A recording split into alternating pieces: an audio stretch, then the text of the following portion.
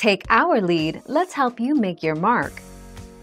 Our goal is your satisfaction. Let us show you the way. Temperature.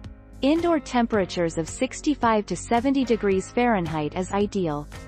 Avoid placing poinsettias where temperature fluctuates or may be drying, such as near cold drafts, heat ducts, fireplaces, fans, space heaters, etc.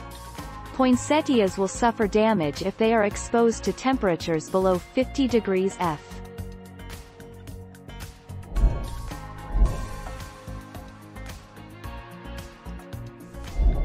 Let's help you make your mark. Improper watering may be responsible for the leaf drop on the poinsettia.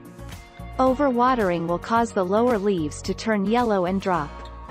Plants that are allowed to get too dry will wilt and also drop leaves. The water needs of a poinsettia can be determined with your finger.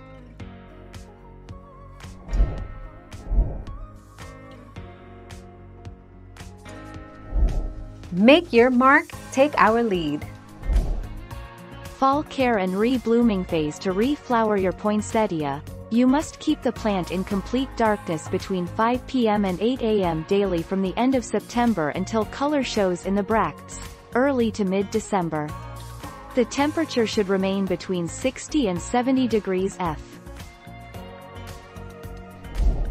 Thank you for watching. Please subscribe and hit the bell notification.